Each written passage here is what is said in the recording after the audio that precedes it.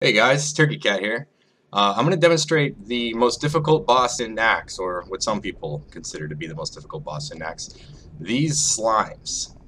Um, a lot of people have trouble with these, and especially um, you know on wipe recoveries, having to run through them many, many times in the same raid can be really frustrating for some people.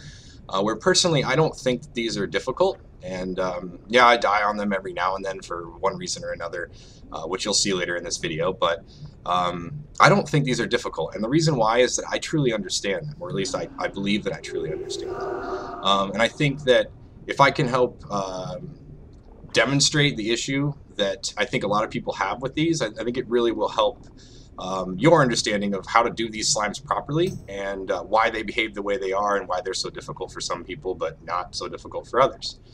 Um, before I go into the how-to, I'm going to actually take a small segue and explain um, a prerequisite that I think might seem unrelated but will make a lot of sense uh, when I've finished.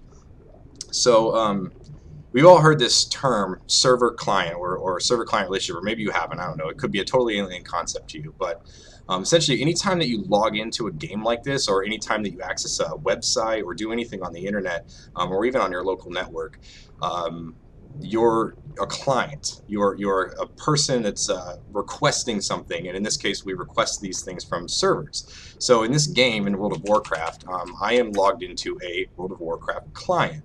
It doesn't matter, most people don't have to know this or understand this, which is why I kind of think this slime thing might be poorly designed. Um, but when I log into this game, I have to connect to a server. Now that's obvious for everybody. But what you don't always think about is that the interactions that you take on your client um, are only being graphically displayed to you in that exact time that it happens because that's what we expect as human beings. We expect that we interact with something and, and, and an equal and opposite reaction takes place immediately.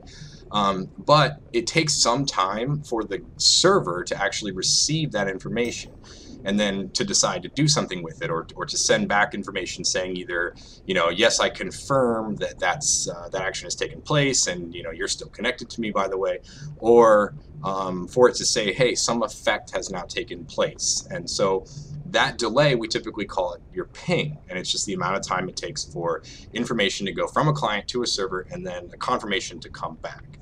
Um, so the reason why that's important is that when it comes to these slimes, a lot of people, and you can actually see uh, skeletons here from previous deaths, a lot of people actually will try to run through these slimes directly through the center. So they try to go right through the center, and then right through the center, right through the center.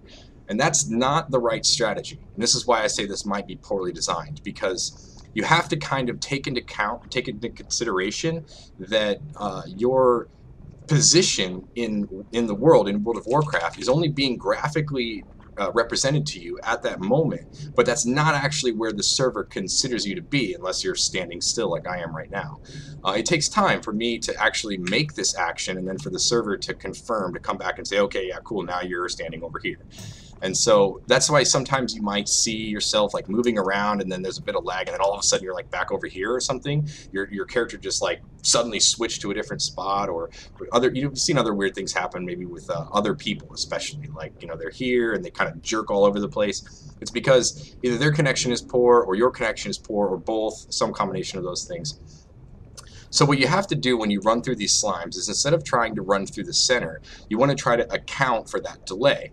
So what I do is I try to actually run close to the tail of the leading slime. I'm going to call it the leading slime because the others are sort of following it. So it doesn't really matter which ones you choose, but at some point you have to decide to run through it. Uh, I'm going to actually demonstrate what not to do first. So if I try to run through this slime, let me throw on my birthday suit really fast. If I run through these slimes directly in the center, this is what most people do, and this is, you'll see that it's going to kill me. So I'll try to go directly to the center as I can, and I died.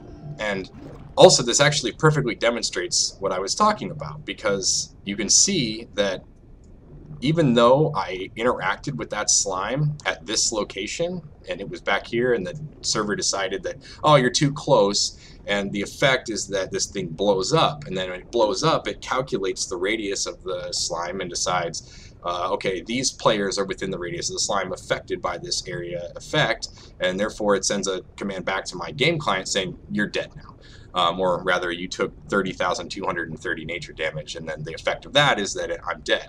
So that's why I'm actually dead here and not dead here, where the effect actually took place, because by the time that it happened, I was actually in this position. And at that point, it doesn't really matter where I am in the world, it just decides you're dead now, and my game client displays to me that I'm now dead. But you can actually think of this distance here as being sort of the, the delay, the ping. So um, actually, I'll, I'll, run back and do this the correct way and um, show you that it, it works pretty flawlessly. So let's do that.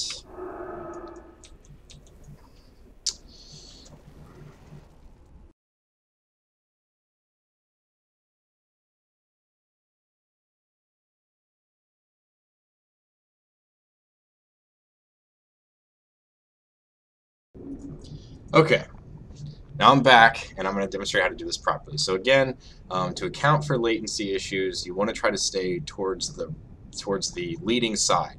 Um, you can kind of judge for yourself whether or not you think that you should be more towards the slime or um, you know or less. But in my experience, I've played on servers all over the world. Um, and I don't see much difference. I've played on servers located in North America where I live. I'm playing on a server now that's located in Europe, and although I do um, sometimes notice an increased ping and increased latency with the server uh, on this server, that affects you know my ability to do certain things like uh, like uh, it doesn't matter, I guess. Um, like collecting songflowers is what I'm thinking. I'm always like the last guy to get the songflower. But um, really, when it comes down to it, it doesn't really matter whether you've got um, you know a ping of 90 or a ping of uh, you know, 150. It's not really going to make a huge difference when it comes to the behavior of this because the radius on these slimes is, is pretty is, is small, but it's, it's bigger than you might think. So if you account for it a little bit and you don't see that it um, is working for you, then just go a little bit closer to the leading slime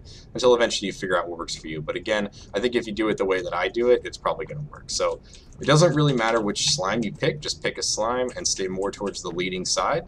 As you can see, I'm kind of adjusting as I go, and ta-da, no real issues. And I'm not even going to cheat as a mage and blink through that last one, although I can, I usually do.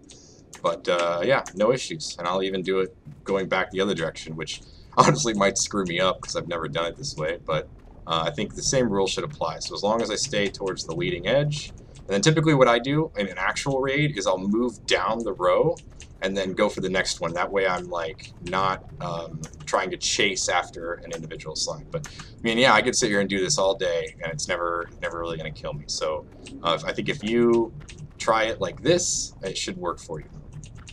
So hopefully this video helps. Okay, the last thing I want to demonstrate is to try not to group up too closely to other people going through the same slime as you. It doesn't really matter whose fault it is. The fact is the game will determine that you're both hit by the area of effect and you both die. This can lead to some pretty hilarious encounters between you and your guildmates.